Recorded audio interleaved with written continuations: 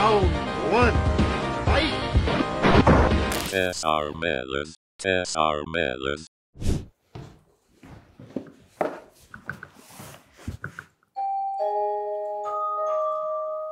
Cancel culture. Lietuviškai atšaukimo, nutildymo arba pašalinimo kultūra. Tai reiškinys, kuomet žmogus arba grupė žmonių patiria didelį gėdinimą arba polimą iš visuomenės. Dažniausiai internete, ypatingai socialiniuose tinkluose. Kada taip nutinka? Kai vieši žmonės pasako arba padaro ką nors nepriimtino arba įžeidžiančio. Kas tada būna? Ta žmogų masiškai nustojama sekti socialiniuose tinkluose, jis viešai gėdinamas ir smerkiamas. Kas dažniausiai atšaukiami? Žinomi žmonės. Kartais net seniai mirusios istorinės asmenybės, apie kurias kažkas negero atkapstoma tik dabar.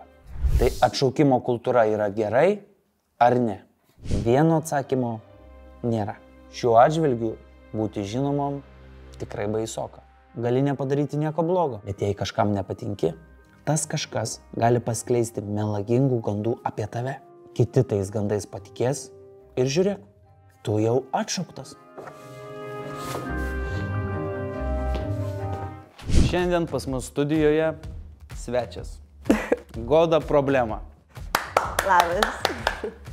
Jei gali, papasakok apie save. Kuriu trumpus tiktokus. Rocking around the Christmas tree at the Christmas party hop. Mistletoe hung where you can see.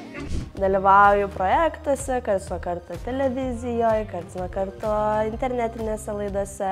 Cancel culture ir atšaukimo kultūra. Sunkiai įsitarė. Aš negaliu, bet cancel culture.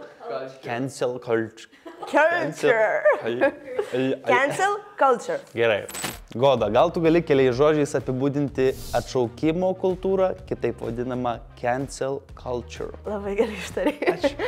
um, nu, jeigu jinai yra reikalinga, šitas dalykas, sakykime, jeigu tas žmogus, kuris rodo pavyzdį, nes vis tiek kalbam apie viešus asmenis, kai yra cancel culture, rodo pavyzdį, parodė pavyzdį blogą, aš už esu, už šitą cancel culture. Jo, okei, okay. tik tai tiek yra, kad ta cancel culture, lab...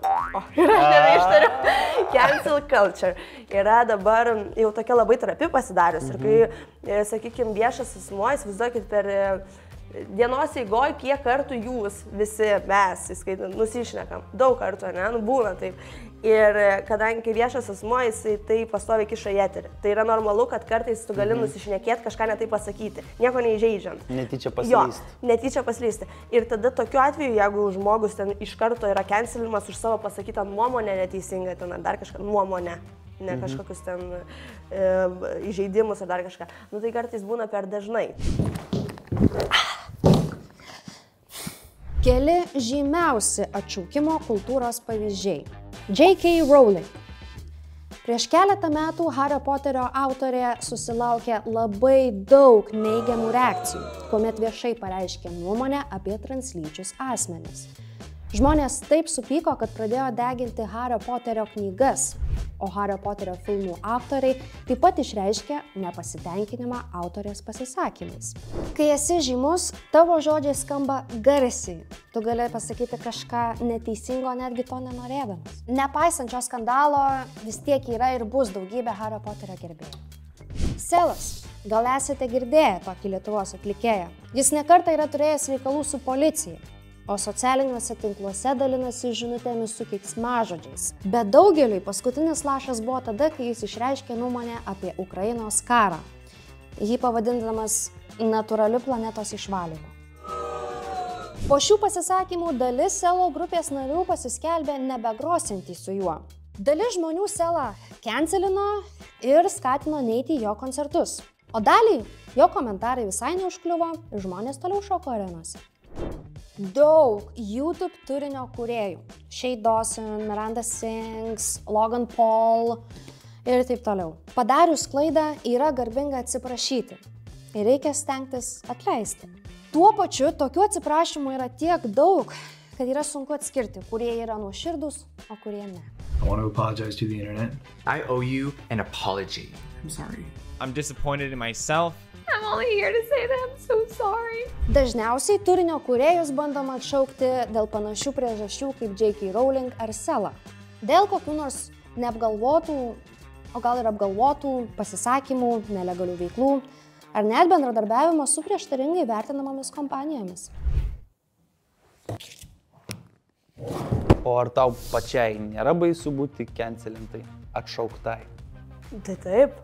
Tai ir kiekvienam žmogui darbe, pavyzdžiui, ar nėra baisu būti cancelimas, pavyzdžiui, išmestas iš darbo. Tai čia lygiai tą patį reiškia. Jeigu aš esu cancelinama, aš esu išmesta iš savo darbo. O Goda, ar tu pati prieš skelbdama savo vaizdo įrašus pagalvoji apie tai, kad galbūt gali būti cancelinama? Um, nu tai taip, jeigu aš skelbčiau viską, ką aš noriu, tai aš jau ir senai būčiau cancelta.